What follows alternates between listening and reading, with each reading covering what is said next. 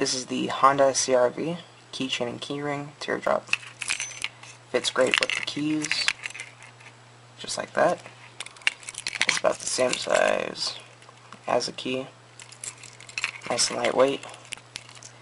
On the front here it just says the Honda logo with CRV. And on the back, stainless steel. It's nice and engravable. And you can send this off as a gift to a friend or some family. So there it is, the Honda CRV keychain and keyring teardrop.